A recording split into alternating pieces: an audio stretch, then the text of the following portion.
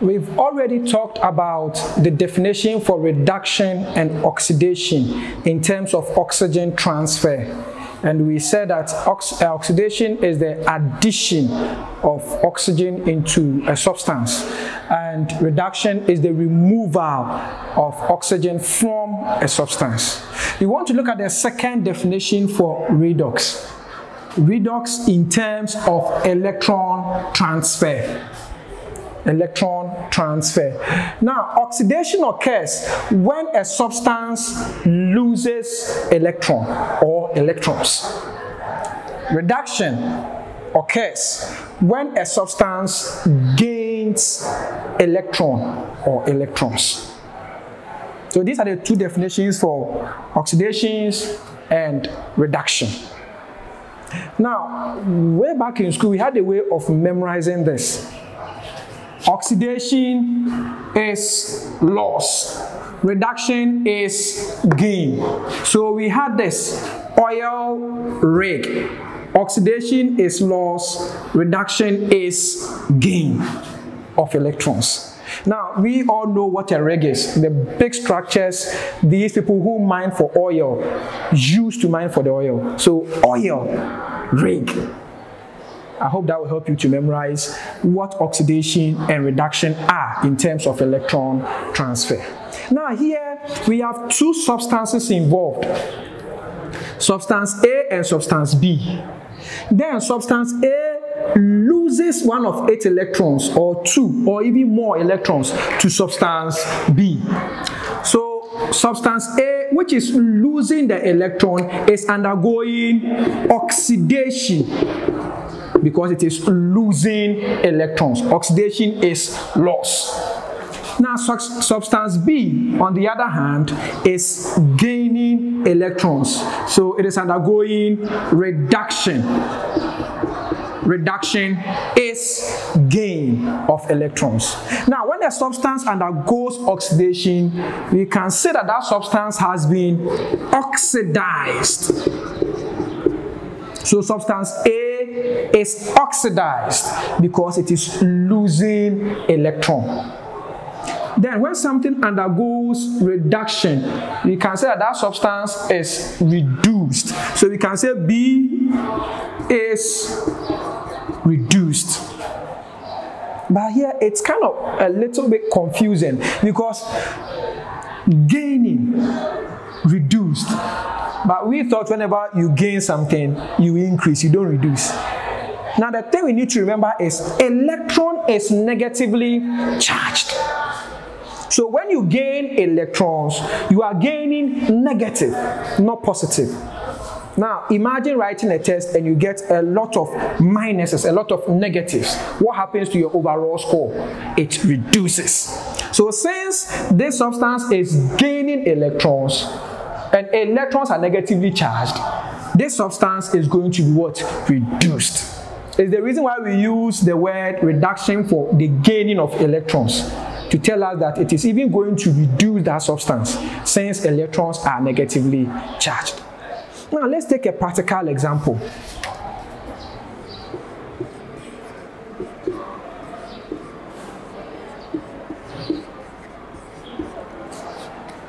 The formation of sodium chloride, an ionic compound. Sodium is element number 11, chlorine is element number 17. Now, this means that sodium has 11 electrons and chlorine has 17 electrons. The configuration for sodium is then 2, 8, 1 and the configuration for chlorine is 287. Now, in order for them to bond ionically together, sodium will have to lose its one outermost electron to chlorine. Now, when sodium loses the electron, sodium loses one electron. Chlorine will then gain one electron. So at the product side, sodium losing one electron, sodium becomes sodium ion with a positive charge. Then chlorine gaining one electron becomes chlorine with a negative charge. That one is called the chloride ion. Now, let's look at what is happening here. Sodium has lost an electron, so sodium is undergoing oxidation. Because it is losing an electron. Now, chlorine is gaining an electron, so chlorine is undergoing reduction. So we can say that sodium has been oxidized, chlorine has been reduced or because sodium has transferred one of its electrons, so it has lost one of its electrons, and that electron has been gained by chlorine. Now, this is the reason why we said oxidation and reduction occur at the same time. Because when one substance loses an electron, another substance should be ready to gain that electron at the same time. So, oxidation, reduction occurring at the same time. Now, we can write equations to represent what is really happening over here. Let's take that one for the sodium. So we have sodium losing an electron. So losing means minus, minus an electron to form sodium ion. Now, in chemical equations, we can write this, but it's not so appropriate we have to see the plus signs and not the minuses. Eh? So we have to make sure this minus vanishes. So we have to let the electron cross to the other side eh? so that we have sodium. Now, sodium ion is formed. The electron was minus, so it becomes plus electron. This equation describes only the oxidation part of the reaction. Now, we had chlorine. It gained an electron, gained an electron to form a chloride ion. And that is how the reduction process happened. So this is the reduction part of the equation. But you realize both the oxidation and the reduction occurred at the same time. But we've written a separate equation for the oxidation, which is sodium losing an electron to form sodium ion. So when we write something like this, talking about only half of the story, we call that one a half reaction. Because the full story is reduction and oxidation. So when we write an equation for only reduction, we call that one the reduction half equation. When we write an equation only for the oxidation, we call that one to the oxidation half equation. When we combine the two, we get a redox equation, which is a reduction oxidation reaction. So we call this one the oxidation half equation. And we call this one the reduction half equation. Now, I would like you to look at the equations critically. And let's try and get something out of this equation. Now, in the oxidation half equation, you realize the cation was found at the other side of the equation with the electron. So whenever you are writing oxidation half equations, notice this. The cation formed and the electron will be found at the product side of the equation and they will be adding.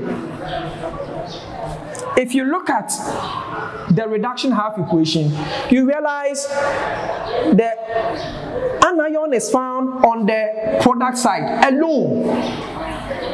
And the substance or the main substance accepting or gaining the electron is found at the reactant side with the electron.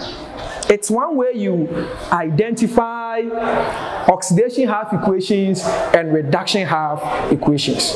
I would like you to keep this one in mind because very soon I'll be giving you oxidation half equations, reduction half equations, and your job would be to identify which one of them is the oxidation half equation and which one of them is the reduction half equation. But before we get there, let's try and combine these two equations together and see if we are going to get the whole redox equation. So the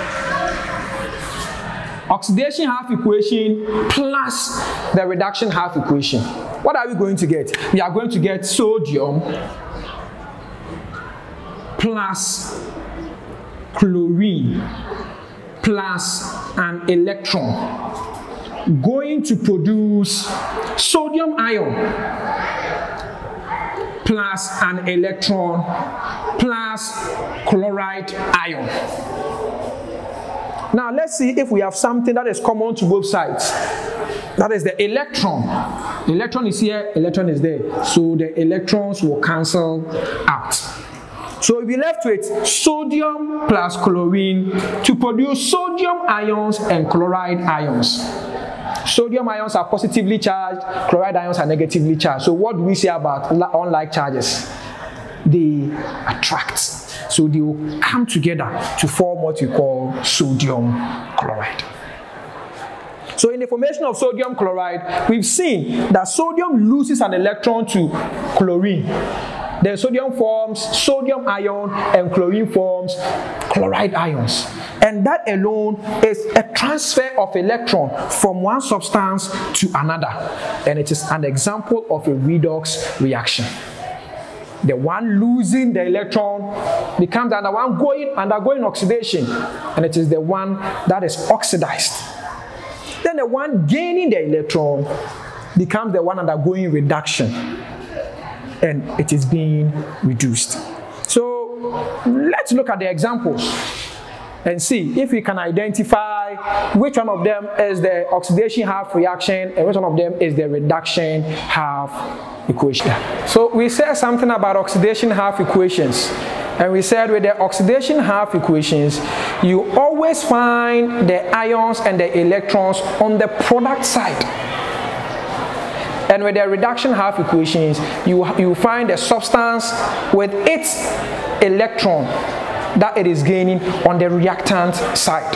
So let's look at this example and see if we can identify which one is an oxidation half equation and which one of them is a reduction half equation. So let's look at the first one. Iron solid losing two electrons to form iron 2 ions. Now you realize the ion and the electrons are on the product side. So we can say this is the oxidation half equation. So this is an oxidation reaction.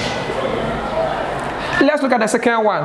You realize on the product side, we don't have the electrons there. Their electrons are at the reactant side with the substance. And what did we say about that? That one is the reduction equation. Very easy, huh? Let's look at the third and the fourth one. Try your hands on it. Okay. I hope you got it right. You realize the electron is with the cation on the product side over here. Although we have a, a cation at the reactant side, the electrons are not with the cation over here, but they are with the electron, uh, sorry, they are with the cation at the product side.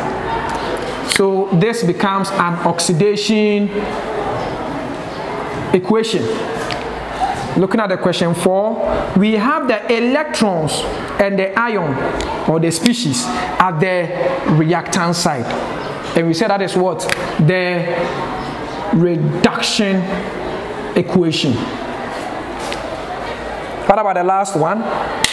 We have both the species and the electrons at the reactant side. So that one too becomes reduction equation.